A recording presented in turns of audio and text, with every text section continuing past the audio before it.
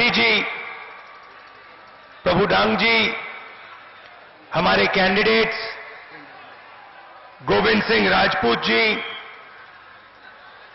Choubey ji, Harsh Yadav ji, Kamlesh Sahu ji, Shashi Kathoria ji, Surendra Chandari ji NSUI youth Congress महिला कांग्रेस, सेवा दल और Congress party के हमारे सब कार्यकर्ता, भाइयों और बहनों, प्रेस के हमारे मित्रों, आप सबका यहाँ दिल से बहुत बहुत स्वागत। गर्मी का समय है। आप दूर दूर से आए, हमारी बात सुनने आए, इसके लिए दिल से बहुत बहुत धन्यवाद।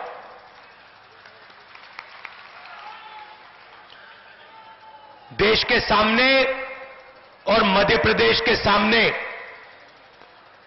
बहुत सारी समस्याएँ हैं, मगर दो समस्याएँ सबसे ज़रूरी हैं। सबसे पहला और शायद सबसे ज़रूरी बात, हिंदुस्तान के युवाओं को और मध्य प्रदेश के युवाओं को रोज़गार देने की बात। देश में आप कहीं भी चले जाइए, जहाँ भी आपको बीजेपी की सरकार मिलेगी, स्टेट्स में चले जाइए और सवाल पूछिए, युवाओं से सवाल पूछिए, क्या करते हो? और आपको एक सेकंड में जवाब मिलेगा, कुछ नहीं करते हैं। हाथ ऐसे करते हैं और कहते हैं, कुछ नहीं करते हैं। मोदी जी ने वायदा किया था, दो करोड़ युवाओं को हर साल रोज़गार देंगे। चाइना की सरकार 24 घंटे में पचास हज़ार युवाओं को देती है। नरेंद्र मोदी जी की सरकार make in India, startup India अलग अलग प्रोग्राम्स के बाद 24 घंटे में सिर्फ़ 450 युवाओं को रोज़गार दे पाती मध्य प्रदेश में मध्य प्रदेश में 35 पचतीस लाख बेरोजगार युवा हैं। और पिछले दो सालों में, पिछले दो सालों में बेरोजगारी दुगनी हो गई है।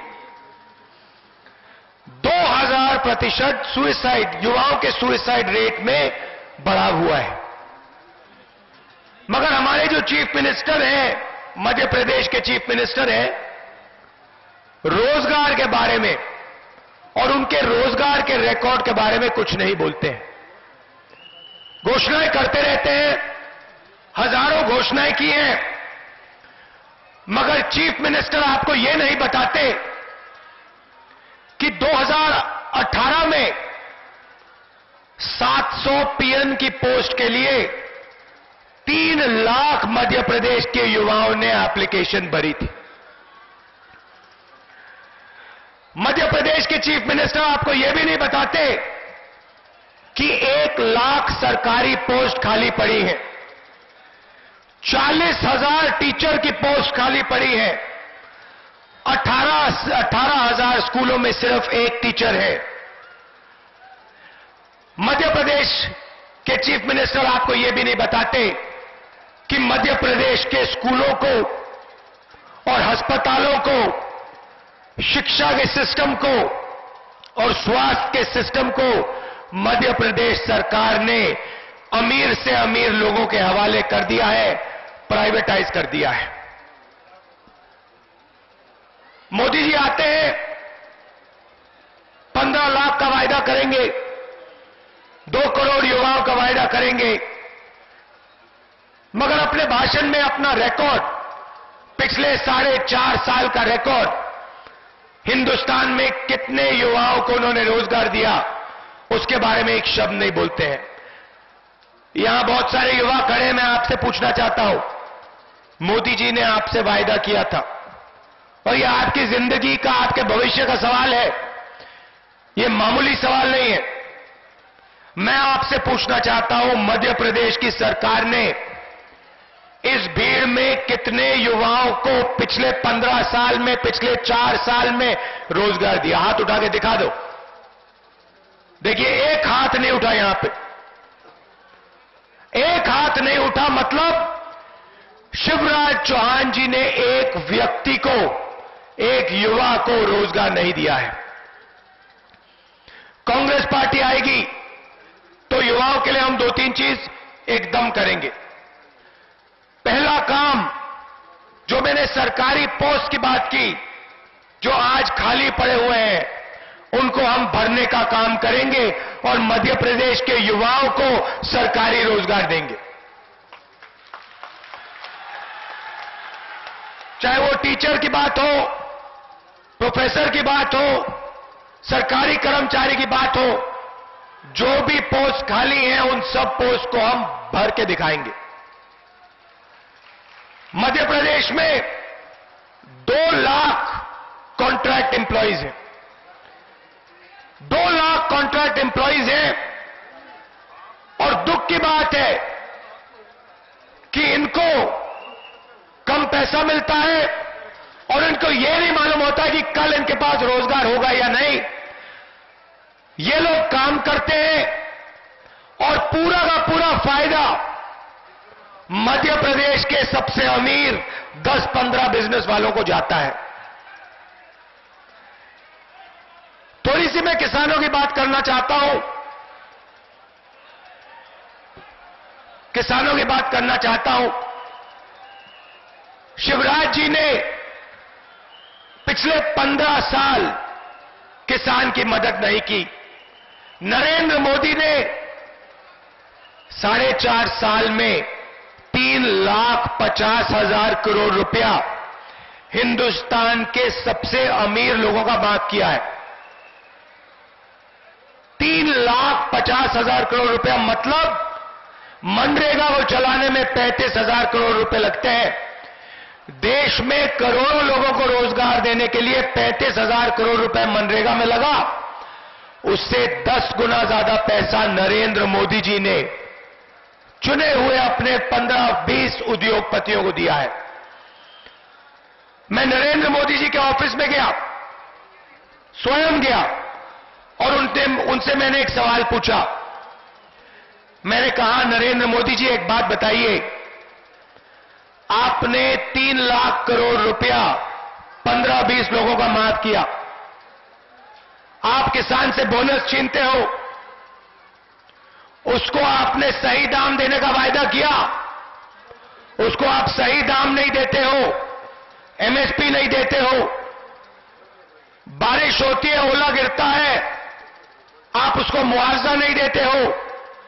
हम जमीनी अधिकरण बिल लाए, उसकी ज़मीन की रक्षा के लिए लाए। उसको आपने रद्द करने की कोशिश की, तीन बार आपने उसको पार्लियामेंट में रद्द करने की कोशिश की। तो मोदी जी, आप हमें बताइए, आप किसान का कर्जा माफ़ क्यों नहीं करते हो? भाई और बहनों, मेरे सवाल का जवाब मोदी जी ने नहीं दिया। मोदी जी ने यह भी नहीं कहा, हाँ, किसानों की बहुत बड़ी समस्या है। हाँ, हमें उन्हें बोनस देना चाहिए, मदद करनी चाहिए उनके साथ खड़ा होना चाहिए। ना एक शब्द नहीं बोला। मगर तीन लाख पचास हज़ार करोड़ रुपया हिंदुस्तान के सबसे अमीर लोगों का कर्जा माफ़ किया और भाइयों और बहनों, अभी 12 लाख करोड़ रुपया बचा है। और नरेंद्र मोदी जी 12 लाख करोड़ रुपया आस्ते आस्ते आस्ते इन सबसे बड़े उद्योगपतियों का माफ़ करेंगे। कर्नाटक में चुनाव था पंजाब में चुनाव था, मैंने ये बात वहीं भी कही। मैंने कहा कि देखिए, अगर पंजाब में नरेंद्र मोदी की सरकार कर्जा माफ़ करने को तैयार नहीं है तो जैसे ही पंजाब में कांग्रेस पार्टी की सरकार आएगी, दस दिन के अंदर कर्जा माफ़ हो जाएगा। फिर मैं कर्नाटक गया, चुनाव था, वही बात मैंने वहाँ कही। नरेंद्र मोदी करोड़ों, लाखों करोड़ रुपए माफ़ कर सकता है। किसानों का एक रुपया नहीं माफ़ कर सकता। कर्नाटक में कांग्रेस पार्टी की सरकार आएगी।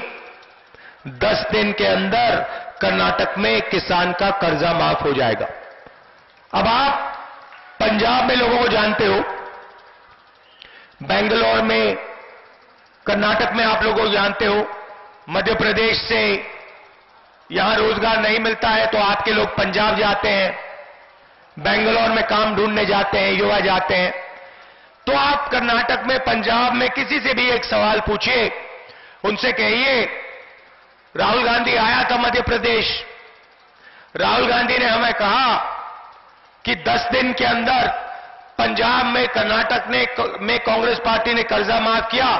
क्या राहुल गांधी सच बोल रहा था या झूठ? और आपको जवाब मिल जाएगा।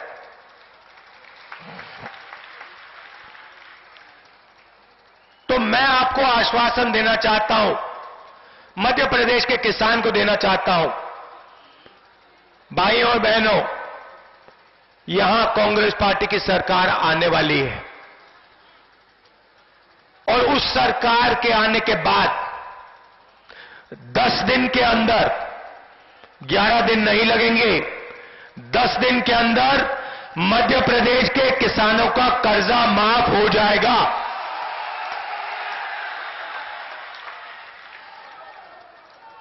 मगर हम वहाँ नहीं रुकेंगे। मैंने ये बात छत्तीसगढ़ में भी कही और मैं यहाँ भी कहना चाहता हूँ, आज आप किसी भी प्रदेश में चले जाइए और वहाँ पूछिए, देश को भोजन कौन सा प्रदेश खिलाता है? और दो सेकंड में आपको जवाब मिलेगा, देश को भोजन पंजाब और हरियाणा खिलाते हैं। मैं चाहता हूँ, और हम सब चाहते हैं कि पाँच साल बाद जब मध्य प्रदेश का युवा रोज़गार ढूँढने नहीं, मगर टूरिज़्म के लिए कर्नाटक जाए, पंजाब जाए, कहीं और जाए और सवाल पूछे, भैया, बताओ, देश को भोजन कौन सा प्रदेश खिलाता है? दो सेकंड में जवाब मिले। मध्य प्रदेश, छत्तीसगढ़ देश को भोजन खिलाते हैं। अब ये सपना है। ये सपना है और इस सपने को पूरे करने के लिए मिलकर हमें काम करना पड़ेगा। कांग्रेस पार्टी की यहाँ सरकार आएगी। तो हम मध्य प्रदेश को कृषि, हिंदुस्तान के कृषि का सेंटर बनाने का काम शुरू कर देंगे। अब आप मुझसे पूछोगे यह काम कैसे होगा मैं आपको बताता हूँ। आज यहाँ पे आप सोयाबीन उगाते हो। सही बात है? सही बात है, सोयाबीन उगता है यहाँ पे? ठीक है। यहाँ पे पास में अलग अलग डिस्ट्रिक्ट्स में अलग अलग लोग चीज़ें उगाते हैं। कोई फल उगाता है कोई गेहूँ उगाता है, कोई सोयाबीन उगाता है, कोई सब्ज़ी उगाता है। टमाटर अलग अलग सब्ज़ियाँ। आज आप सब्जियों को, फल को, अनाज को मंडी में जाके बेचते हो, नरेंद्र मोदी जी आपको सही दाम नहीं दिलवाते हैं। आपको भटकना पड़ता है, अंत में आपको वहाँ सही दाम नहीं मिलता। कांग्रेस पार्टी की सरकार आएगी, हर डिस्ट्रिक्ट में, हर ब्लॉक में हम फ़ूड प्रोसेसिंग का कारखाना लगा देंगे। अब कारखाने में क्या होगा? आप सीधा जाके सोयाबीन, अपना सोयाबीन सीधा जाके आप कारखाने में दोगे। और कारखाना भोपाल में नहीं होगा पंजाब में नहीं होगा, हरियाणा में नहीं होगा। यहाँ इस डिस्ट्रिक्ट में आपके खेत के बिल्कुल पास में होगा। तो आप सीधे जाके अपना सोयाबीन, टमाटर, आलू जो भी आप उगाते हो, आप कारखाने में जाके बेचोगे। आपको सही दाम मिलेगा। और अगर आप आलू उगाते हो तो आलू के चिप्स बनाने वाला कारखाना आपके पास बनाया जाएगा। अगर आप सोयाबीन उगाते हो तो सोयाबीन के तेल बनाने का कारखाना आपका पास, आपके पास लगाया जाएगा। आप सिर हिला रहे हैं। मैंने सही बात बोली ना? इससे मध्य प्रदेश के जो किसान हैं, उनको अपनी मेहनत का फल मिलेगा। आज आपकी मेहनत का फल आपको नहीं मिलता है। आज आपसे वो छीन लिया जाता है, भ्रष्टाचार में छीन लिया जाता है और आपको नहीं मिलता है। कांग्रेस पार्टी की सरकार आपको अपनी मेहनत का फल डायरेक्टली आपके बैंक अकाउंट में, आपके जेब में पैसा डालकर दिलवाएगी। थोड़ी सी बात मैं भ्रष्टाचार की करना चाहता हूँ। नरेंद्र मोदी आते हैं, भ्रष्टाचार की बात करते हैं। पहले करते थे। मैंने गलत बोला। आजकल आप उनका भाषण सुनिए। उनके भाषण में भ्रष्टाचार की बात नहीं होती। पहले बहुत होती थी, छप्पन इंच की छाती है। मुझे प्रधानमंत्री मत बनाओ, मुझे चौकीदार बनाओ, भ्रष्टाचार को मिटा दूँगा। वायदे होते थे, मगर आज के भाषण में नरेंद्र मोदी भ्रष्टाचार शब्द नहीं का प्रयोग नहीं करता। कहीं भी नहीं कहता। आज ये नहीं कहता कि मुझे चौकीदार बना दो। क्योंकि अगर प्रधानमंत्री बोलेगा कि भैया, आपने मुझे चौकीदार बनाया तो जनता बोलेगी, चौकीदार? सीधा डायरेक्ट वो जवाब मिलेगा भाई और बहनों नरेंद्र मोदी जी ने हिंदुस्तान को हिंदुस्तान का इनफॉर्मल सेक्टर चलाता है। हिंदुस्तान के छोटे दुकानदार चलाते हैं, छोटे बिज़नेस वाले चलाते हैं मीडियम साइज़ बिज़नेस वाले चलाते हैं, किसान चलाते हैं, युवा चलाते हैं, मजदूर चलाते हैं। हिंदुस्तान को काले धन वाले चोर नहीं चलाते हैं। अगर ये देश आगे बढ़ता है तो आपके बल पे बढ़ता है। नरेंद्र मोदी जी ने नोटबंदी की, मैं आपसे छोटा सा सवाल पूछना चाहता हूँ। आप सबको, छोटे दुकानदारों को स्मॉल मीडियम बिज़नेस वालों को, किसानों को, मजदूरों को, ये माताएँ बहनों को नरेंद्र मोदी जी ने लाइन में लगाया। याद है आपको?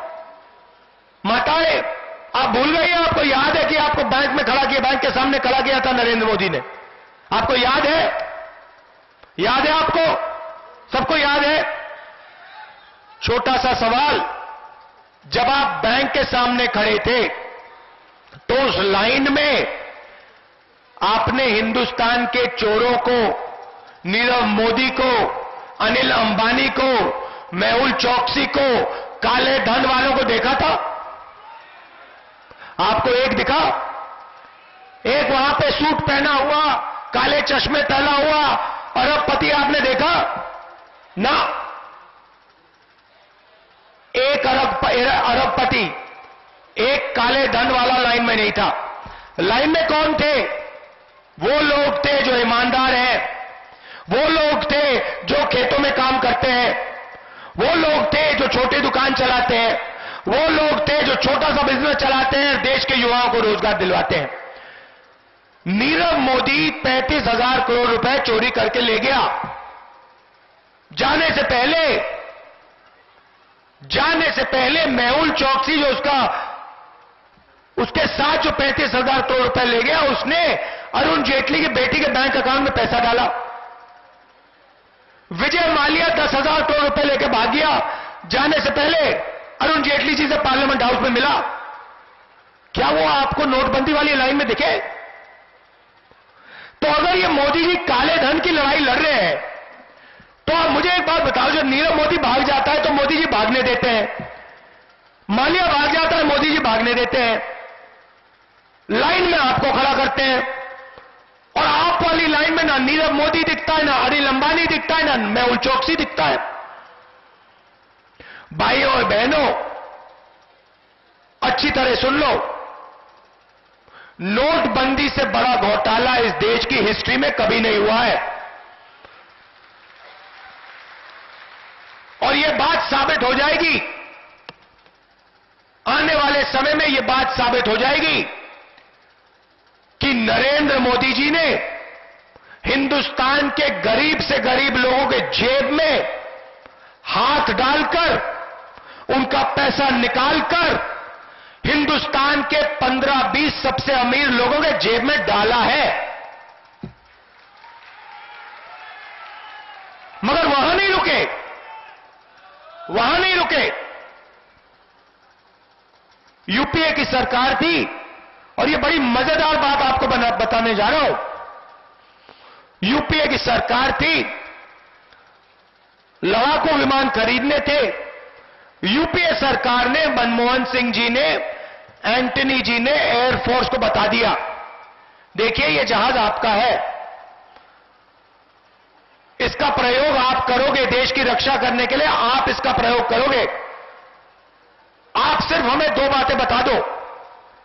आपको कौन सा हवाई जहाज़ चाहिए? और किस दाम पे आप हवाई जहाज़ लोगे एयरफोर्स के लोगों ने आठ साल काम किया। अलग अलग हवाई जहाज़ टेस्ट किए। उसमें राफेल हवाई जहाज़ था, यूरोफाइटर हवाई जहाज़ था, मिग हवाई जहाज़ था, सुखोई हवाई जहाज़ था, तेजस हवाई जहाज़ था, सब उन्होंने ट्राई किए। अंत में आते कहते हैं, राफेल हवाई जहाज़ सबसे बेहतरीन हवाई जहाज़ है। हिंदुस्तान की रक्षा के लिए इससे बेहतर हवाई जहाज़ नहीं। यूपीए सरकार ने पूछा, भैया किस रेट पे ले रहे हो आप लोग? एयरफोर्स के लोगों ने कहा 526 करोड़ रुपए एक हवाई जहाज़ के लिए 126 हवाई जहाज़। यूपीए सरकार ने कहा, शाबाश, बहुत अच्छा रेट है, आप जाके हवाई जहाज़ खरीद लीजिए। यूपीए सरकार चुनाव हारती है, निकलती है, मोदी जी आते हैं। मोदी जी उन्हीं एयरफोर्स के लोगों को बुलाते हैं। बातचीत होती है। मोदी जी फ्रांस जाते हैं। फ्रांस में उनके डेलीगेशन में अनिल अंबानी जी जाते हैं। और भाई और बहनों, अब जो मैं आपको कह रहा हूँ, मेरे शब्द नहीं है। फ्रांस के राष्ट्रपति के शब्द हैं। फ्रांस के रन एरोनॉटिकल लिमिटेड सरकारी कंपनी उस हवाई जहाज़ को बनाएगी। उसकी कोई ज़रूरत नहीं है। हवाई जहाज़ अनिल अंबानी को बनाना है। फ्रांस के राष्ट्रपति ने मीडिया को बता दिया कि नरेंद्र मोदी जी ने हमें कहा कि अनिल अंबानी को कॉन्ट्रैक्ट नहीं दिया तो भूल जाओ। कोई कॉन्ट्रैक्ट नहीं मिलने वाला। भाइयों और बहनों, चौकीदार ने बिना एयरफोर्स के पूछे, बिना रक्षा मंत्री के पूछे, और यह मेरा बयान नहीं है। रक्षा मंत्री का बयान है, पारिकर जी का बयान है कि उनसे नरेंद्र मोदी जी ने नहीं पूछा।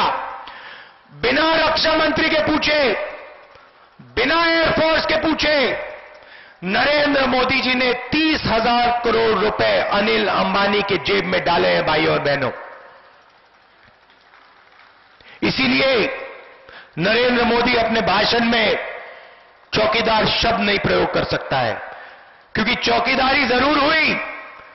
मगर आपकी नहीं हुई। अनिल अंबानी की चौकीदारी हुई और वो नरेंद्र मोदी जी ने की।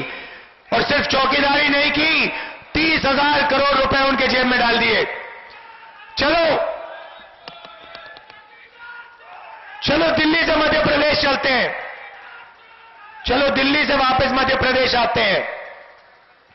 शिवराज चौहान जी, व्यापम घोटाला। व्यापम घोटाले को स्कैम ऑफ़ सेंचुरी कहा जाता है। सेंचुरी का सबसे बड़ा घोटाला है। पचास लोग मर गए, मारे गए। शिक्षा का पूरा सिस्टम खत्म कर दिया, नष्ट कर दिया, बर्बाद कर दिया। मध्य प्रदेश में जिसके पास पैसा नहीं है, जो चीटिंग नहीं कर सकता है, वो एग्ज़ाम पास ही नहीं कर सकता है। शिवराज सिंह जी की देन है। पूरा का पूरा शिक्षा का सिस्टम उड़ा दिया। कोई जेल नहीं गया। सब पूरा मध्य प्रदेश जानता है। व्यापम स्कैम में शिवराज चौहान जी का क्या रोल है? उनके परिवार के लोगों का क्या रोल है? पूरा मध्य प्रदेश जानता है। मध्य प्रदेश के सब युवा समझते हैं, जानते हैं कि अगर आज मध्य प्रदेश में उनको रोज़गार नहीं मिलता अगर उनको इंजीनियर बना, अगर वो इंजीनियर नहीं बन सकते डॉक्टर नहीं बन सकते लॉयर नहीं बन सकते तो उसमें एक बहुत बड़ा हाथ शिवराज चौहान जी का है, क्योंकि उन्होंने मध्य प्रदेश को व्यापम दिया। दूसरा उदाहरण ई टेंडरिंग स्कैम तीन हज़ार करोड़ रुपए आपसे छीन लिए गए। सरकारी कॉन्ट्रैक्ट्स शिवराज चौहान जी के परिवार के मित्रों को जितने भी कॉन्ट्रैक्ट चाहिए, उनको दे देते हैं।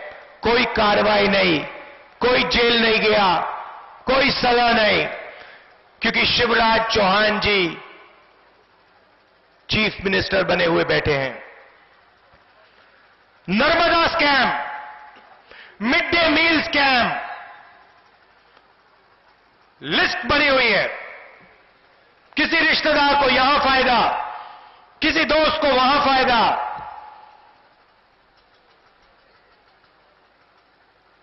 किसी कानून को तोड़ सकते हैं, शिक्षा के सिस्टम को नष्ट कर सकते हैं। पैसे के लिए, थोड़े से फ़ायदे के लिए। आज आपको कुपोषण का कैपिटल कहा जाता है। लाखों बच्चे मध्य प्रदेश में भूखे मर जाते हैं। उनतीस हज़ार बच्चे, उनतीस हज़ार बच्चे पिछले दो सालों में मरे हैं। दो लाख इक्कीस हज़ार मलेरिया के केस, आठ हज़ार डेंगू के केस, पाँच हज़ार छह सौ चिकनगुनिया के केस ये किसकी देन है? पूरा का पूरा स्वास्थ्य का सिस्टम प्राइवेट लोगों के हाथ में कर दिया है। आपको एक्सरे की ज़रूरत पड़ती है एमआरआई की ज़रूरत पड़ती है। हज़ारों रुपए पहले निकाल के किसी उद्योगपति के जेब में डालो। कैंसर हो जाता है। दिल के, दिल का दौरा पड़ता है। तो लाखों रुपए जेब से निकाल के उद्योगपति के जेब में डालो और बर्बाद हो जाओ, खत्म हो जाओ। यह है मध्य प्रदेश की सच्चाई। एक तरफ़ भ्रष्टाचार, दूसरी तरफ़ बेरोजगारी, बंद अस्पताल, बंद स्कूल, व्यापम स्कैम। भाई और बहनों, हम दो हिंदुस्तान नहीं चाहते हैं। अगर हमें दो हिंदुस्तान चाहिए होते तो आज़ादी के समय हम दो झंडे लगा देते। एक पंद्रह बीस उद्योगपतियों का झंडा, और दूसरा आम जनता का झंडा। हमें सिर्फ़ एक देश चाहिए, एक हिंदुस्तान चाहिए, और इस हिंदुस्तान में हमें न्याय चाहिए। अगर पंद्रह लोगों का साढ़े तीन लाख करोड़ रुपए माफ़ हो सकता है तो मध्य प्रदेश के किसान का भी कर्जा माफ़ हो सकता है और होगा। अगर पंद्रह बीस उद्योगपति अपने बच्चों को अच्छे स्कूल में, अच्छे कॉलेज में भेज सकते हैं तो मध्य प्रदेश के किसान, मध्य प्रदेश के मजदूर, मध्य प्रदेश के छोटे दुकानदार भी अपने बच्चों को बेहतर से बेहतर स्कूल में भेज सकेंगे। और अगर जब बड़ा उद्योगपति बीमार होता है, अगर वो अपने बच्चे को इलाज के लिए या अपने आप को इलाज के लिए अस्पताल ले जा सकता है तो मध्य प्रदेश के किसान भी अपने इलाज के लिए, अपना, अपने माता पिता के इलाज के लिए बेहतर से बेहतर अस्पताल में इलाज करवा सकते हैं। ऐसा हिंदुस्तान हम आपको देना चाहते हैं। और यह आपके बिना नहीं हो सकता है। मैं आपको सीधा बता देता हूँ। आप सोचोगे कि राहुल गांधी आया है किसानों को तोहफा दे रहा है। मैं कोई तोहफा नहीं दे रहा हूँ। यह आपका हक है। यह कांग्रेस पार्टी आपको फ्री गिफ्ट नहीं दे रही है। हमने पंजाब में किसान कर्जा माफ़ी की। वो तोहफा नहीं था, फ्री गिफ्ट नहीं था। वो पंजाब के किसानों का पैसा था। कर्नाटक में हमने कर्जा माफ़ी की। वो कोई तोहफा नहीं था, गिफ्ट नहीं था। जैसे मोदी जी कहते हैं, मैंने ये किया, मैंने ये किया, मैंने किया किया। ना। ये सब आपका है। आपसे चोरी हो रहा है, आपसे लिया जा रहा है, नरेंद्र मोदी जी मदद कर रहे हैं। मैं आपको सीधा बता देता हूँ। तो जो आपका है, वो आपको वापस देना चाहते हैं। आपकी मजदूरी है, आपका खून पसीना है, और आपका हक है। तो जो हम करेंगे, आपके लिए करेंगे। किसान का कर्जा माफ़ होगा। हर डिस्ट्रिक्ट में, हर ब्लॉक में कारखाने लगेंगे फ़ूड प्रोसेसिंग प्लांट लगेंगे, और किसान जो उगाता है, जाके सीधा बेचेगा, उसको जे, उसके जेब में पैसा आएगा। हाई क्वालिटी के सरकारी अस्पताल हाई क्वालिटी के कॉलेजेस हाई क्वालिटी के सरकारी कॉलेजेस और यूनिवर्सिटी मध्य प्रदेश की सरकार लगाएगी। कैसे लगाएगी? आपके पैसे के साथ लगाएगी। आपके भविष्य के लिए लगाएगी। हम किसी पंद्रह बीस उद्योगपतियों को नाम नहीं लेना चाहता हूँ, मगर पंद्रह बीस उद्योगपतियों को आपका पैसा नहीं देना चाहते हैं। यह फ़र्क है हम में और उनमें। दूसरी बात सुन लीजिए। मेरे भाषण सुन लीजिए, पिछले पंद्रह साल से मैं राजनीति में हूँ। मैंने आपसे ज़िंदगी में पंद्रह लाख की बात नहीं की। मैं झूठे वायदे नहीं करता हूँ। मोदी जी आते हैं, जहाँ जाते हैं, तीन चार झूठे बात कर जाते हैं। यहाँ पे शिवराज चौहान जी घोषणा कर देते हैं दस पंद्रह। मैं फजूल की घोषणा नहीं करता हूँ। मैंने आपसे कहा था, किसान की ज़मीन के लिए लड़ जाऊँगा। जमीनी अधिकरण बिल हमने आपको दे दिया कांग्रेस पार्टी ने। हमने आपसे कहा था, गरीबों को फ़ायदा पहुंचाएँगे, मनरेगा हमने आपको दे दिया। भोजन का अधिकार को हमने आपको दे दिया। व्यापम स्कैम में आरटीआई, पता कैसे लगा? राइट टू इंफॉर्मेशन सूचना का अधिकार। मोदी जी ने उसको खत्म किया गुजरात में, पूरे हिंदुस्तान में खत्म कर दिया। हमने आपको उजार दिया था, इसलिए व्यापन स्कैम के बारे में बाहर जानकारी हुई है। तो मैं झूठे वायदे नहीं करने वाला हूँ। चुनाव के बाद आप देख लेना। आप देख लेना, चुनाव के बाद दस दिन के अंदर मेरी बात सुनने की कोई ज़रूरत नहीं है। दस दिन के अंदर किसान का कर्जा माफ़ हो जाएगा गारंटी देके कह रहा हूँ। और यह भी सुन लो यह भी सुन लो। अगर कांग्रेस पार्टी का चीफ मिनिस्टर 10-15 दिन के अंदर नहीं करेगा तो दूसरा चीफ मिनिस्टर करेगा। आप सबका दिल से बहुत बहुत धन्यवाद। दूर दूर से आए, मैं काफ़ी लंबा बोल गया। इतने प्यार से आपने मेरी बात सुनी। बहुत बहुत धन्यवाद। हमारे प्रत्याशी हैं, इनको आप जिताइए भारी भारी बहुमत से जिताइए। और मध्य प्रदेश में, मध्य प्रदेश की जनता की सरकार बनाइए। किसानों की सरकार, छोटे दुकानदारों की सरकार, मजदूरों की, युवाओं के भविष्य की सरकार बनाइए। धन्यवाद नमस्कार जय हिंद। राहुल